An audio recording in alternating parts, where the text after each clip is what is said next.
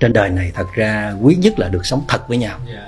bất cứ liên hệ tình cảm nào ha. Dạ. dầu là lứa đôi hay là giữa sếp với nhân viên giữa những anh em với nhau mà thật được á là bền chắc. Sướng ha. À rồi thứ hai đó là mình có bao nhiêu cái yếu kém á, họ không có phê phán họ không có đánh giá họ không có công kích họ không chê bai họ không có loại trừ mình họ ôm hết vào lòng họ.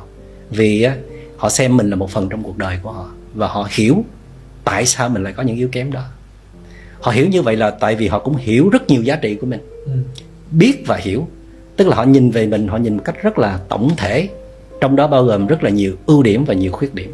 Và họ đã chấp nhận con người của mình là một người bạn thân trong cuộc đời của họ. Thân là có ảnh hưởng trong cuộc đời lẫn nhau rồi đó. Dạ.